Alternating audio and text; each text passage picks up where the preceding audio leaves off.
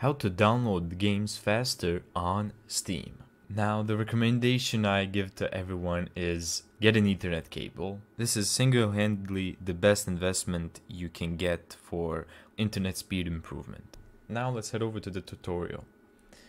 Go to the top left corner of the screen and click Steam. Go to Settings. And you should find Downloads. Click that. And this is how it should look like. So let's do this from head to toe.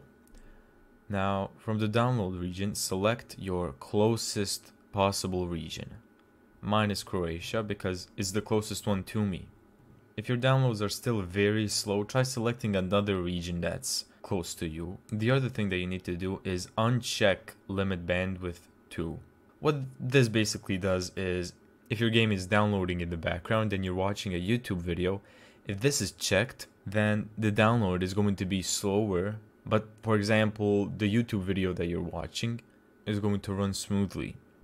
If you uncheck this, it's not going to have a limit, so the download is going to be faster. The other thing that you can do is check allow downloads during gameplay. This is pretty much self-explanatory. If you're playing a game, it allows downloading in the background during gameplay that's basically the best way to improve your game download speed.